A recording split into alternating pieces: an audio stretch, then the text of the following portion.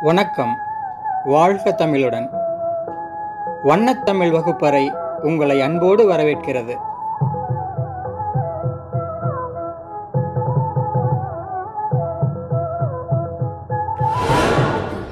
மங்கையராய் பிறப்பதற்கு விரிவானம் கட்டுரை. குறிப்புச் சட்டகம் முன்னுரை எம். எஸ். சுப்புலட்சுமி பாலசரஸ்வதி ராஜங்கிருஷ்ணன் கிருஷ்ணம்மாள் ஜெகநாதன் சின்னப்பிள்ளை முடிவுரை. முன்னுரை. இவ்வுலக மக்கள் தொகையில் சரிபாதியாக உள்ளவர்கள் பெண்கள். சிந்தனை உழைப்பு நேரம் பொருள் அனைத்தையும் கொட்டி உலகை ஆளாக்குபவர்கள் அவர்கள்தான். ஆனால் அவர்கள் பண்பாடு பழக்க வழக்கம் சாதி மதம் போன்றவைகளால் தீண்டத்தகாதவர்களாகவே அடையாளப்படுத்தப்படுகிறார்கள். இதையும் மீறி ஒளிரும் மாதர்குல மாணிக்கங்கள் பலர். அவர்களுள் சிலரை பற்றி நாம் இங்கு காண்போம். எம். எஸ். சுப்புலட்சுமி. மதுரை சண்முக வடிவு சுப்புலட்சுமி எனும் இவர் இசைத்துறையில் மாபெரும் சாதனை படைத்தவர். இவரின் தாயே இவருக்கு குரு. இவர் பத்து வயதிலேயே இசைத்தட்டுக்காக பாடினார். பதினேழு வயதில் மேடை கச்சேரி செய்தார். இந்திய மொழிகள் பலவற்றிலும் பாடியுள்ளார். உலகம் முழுவதும் இசை பயணம் செய்து கச்சேரி நிகழ்த்தியுள்ளார்.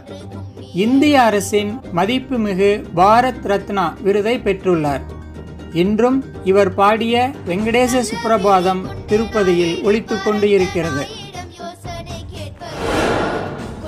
பால சரஸ்வதி விரலியராட்டம் சதிராட்டம் என்று அழைக்கப்பட்ட தமிழர்களின் ஆடற்கலையை பயின்ற பால சரஸ்வதி அவர்கள் பரதநாட்டியம் என்ற பெயரில் அதை உலகம் எங்கும் கொண்டு சென்றார்.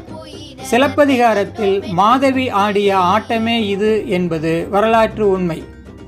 மெய்ப்பாடுகள் தோன்ற ஆடும் இந்த ஆட்டத்தால் உலகையே இவர் கட்டி போட்டார்.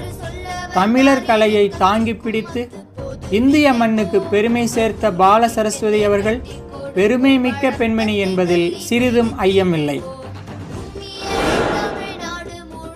ராஜாம் கிருஷ்ணன் பெண் எழுத்தாளர்களில் பொன் போன்றவர் ராஜாம் கிருஷ்ணன் அவர்கள்.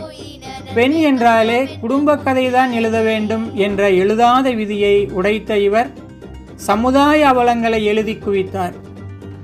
இவர் பூட்டி அறைக்குள் இருந்து கற்பனை செய்து எழுதாமல் வீதியில் இறங்கி மக்களோடு மக்களாய் பயணித்து அவர்களின் வாழ்க்கை சிக்கலை எழுதினார். மக்களின் உழைப்பு எங்கெல்லாம் சுரண்டப்படுகிறதோ அங்கெல்லாம் சென்று அதை புதினம் ஆக்கினார். இவரின் எழுத்துகள் நேரிய சினமும் அறச்சீற்றமும் மிகுந்தது. கிருஷ்ணம்மாள் ஜெகநாதன் எளிய பெண்ணாயிருந்தாலும் வலிந்து போராடும் குணம் உண்டு என்பதை மெய்ப்பித்தவர் கிருஷ்ணம்மாள் ஜெகநாதன் அவர்கள். இவர் பெண் கல்வி மறுக்கப்பட்ட காலத்திலேயே போராடி வென்று கல்லூரி கல்வி கற்றவர். இந்திய விடுதலை போராட்டங்களில் முழுமையாக பங்கேற்றவர். நாட்டின் விடுதலைக்கு பின் பூமிதான இயக்கத்தில் இணைந்து பணியாற்றியவர். உழவர்களின் தோளோடு தோல் நின்று அவர்களின் துயர் துடைக்க பாடுபட்டவர். சாதிக்கும் ஆற்றல் அனைவருக்குள்ளும் உண்டு என்பதை மெய்ப்பித்தவர்.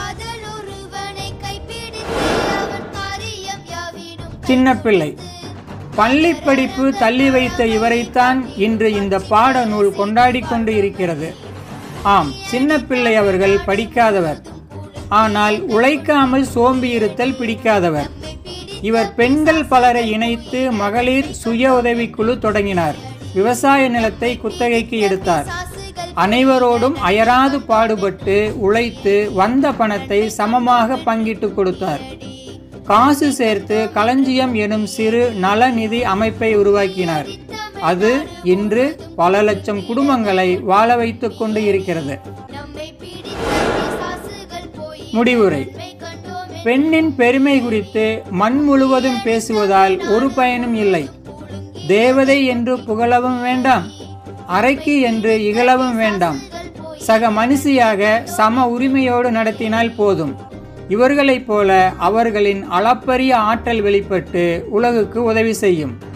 உரிமை தர ஆண்கள் எசமானர்களும் அல்ல.